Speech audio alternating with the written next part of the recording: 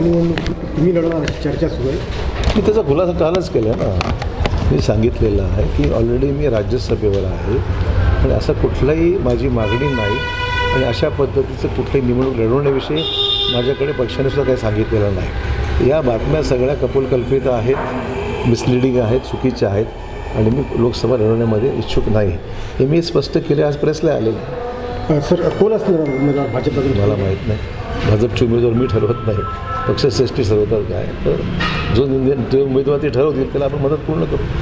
जागा वाटपाची चर्चा सुरू आहे सध्या. महा महाविकास आघाडीमध्ये. आणि संजय राऊत असं म्हणाले की काँग्रेसचं नेतृत्व चर्चेसाठी हे नाही समर्थक नाही. सक्षम म्हणजे नाही. निर्णय घेऊ शकत नाही. नाना पटोलेंबद्दल संजय राऊतांना गोष्ट कळाली आनंदाची बाब आहे. पण ती उशिरा कळाली हरकत नाही. देर आहे दुरुस्त आहे. आणि जे वाचते खरं आहे ते ते बोलले आहेत ते. नाना पटोले आणि संजय राऊतमध्ये महाविकास आघाडीच्या बैठकीत ते कलगीपुरा रंगलेला आहे खूप चर्चा रंगत आहेत नाना पटोले त्यांचा अंतर्गत विषय आम्हाला काही त्याच्याशी घेणं देणं नाही आहे त्यांनी जागा कशा वाटायच्या कोणाला द्यायच्या हा त्यांचा प्रश्न आहे. जरांगे जरांगे पाटलांनी बैठक बोलावलेली आहे उद्या.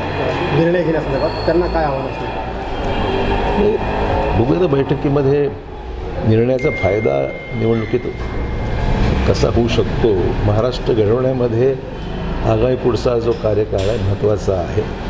आणि म्हणून त्यांचा निर्णय हा महाराष्ट्राच्या हिताचा राहावा अशीच आमची विनंती आणि अपेक्षा आहे.